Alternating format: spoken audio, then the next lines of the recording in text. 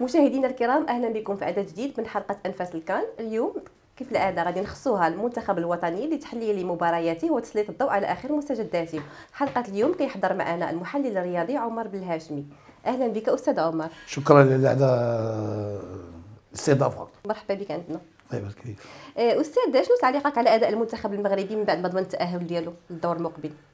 واول شيء تن on félicite l'équipe nationale اللي دازت لأن هذه نقطة إيجابية بأن دازت الدور الثاني ومن أهم الاشياء تلعب في الملعب ديالها سان بيدرو ما ما غيمشوش لملاعب أخرى. في نظرك أستاذ علاش المنتخب كيرجع للور في الجولة الثانية؟ باش ممكن تفسر هذه المسألة هذه؟ وقبل ما نرجعوا للشوط الثاني خصنا نحلوا بعدا بعض المواضيع في بعض النقاط في الشوط الأول. لأن الفريق آه، كما لاحظنا البارح كان مايل على اليمين يعني وبالنسبة للخصم ساهل باش يعرف المغرب كي يلعب. لأن كاع الكواري الواعرين اللي دازوا دازوا على اليمين بين أوناحي و وحكيمي وزياش. هذه هي الثلاثية اللي كانت سميتو donc ملي كتيديروك un bloc تيلعبوا معاك ب un bloc آه يعني آه بلوك بلوك غوش هما بالنسبة لهم انت بلوك دغوا تي بلوكي اليسار كان كان ما خدامش كاع تقريبا لأن بعد الكواري اللي جاو البوفال سفيان بوفال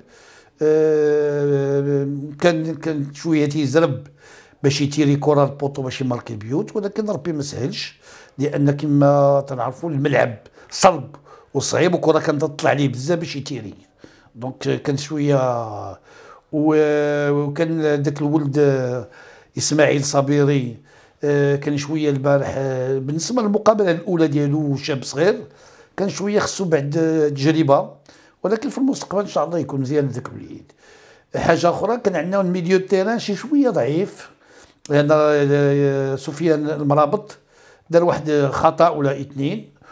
و و ملي تيمشي للاطراف ملي تيبغي يدير récupération sur les côtés droit ولا gauche ديما ما n'est pas à l'aise ديما pas à l'aise بالنسبة la défense كانوا مزيانين حكيمي كان مزيان l'arrière gauche عطيه الله كان متوسط يونس عبد الحميد كان مزيان بالنسبة للمقابله ديالو en général بعد ارتكب بعض الأخطاء اللي كان خصو يتفاداها لأن الخطأ ديال un défenseur égale un but بالنسبة للشوط الثاني آه لاحظنا الفريق رجع شوية اللور رجع شي شوية اللور والخصم آه استولى على الكرة أكثر من لأن في الشوط الأول كانت عندنا بوسيسيون دو بال 68% الشوط الثاني تنظن لأن ما كانتش عندنا لا بوسيسيون بال كانت عندهم هما. بعد العناصر كانوا تيبيليتريونا مستيرا تيدخلوا لينا. ياسين بونو جبد جوج ولا ثلاثة الكواري كانوا يكونوا إصابات. آه لاريير غوش والسيتا وجبد واحد جوج كواري كانوا دازو كنا نلقاهم بإصابات. آه العموم في العموم الشوط الثاني رجعنا للور. équilibra الماتش الوقت اللي دخلنا داك الولد أمير.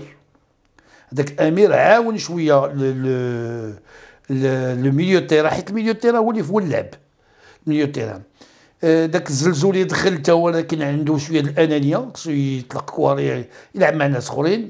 هذاك عدلي تنظن عدلي عدلي.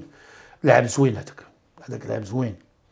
وبالنسبة للظروف باش لاعب توفات ليه الوالدة ديالو ولاعب داك المقابلات هذاك عنده مستقبل كبير وكبير بزاف.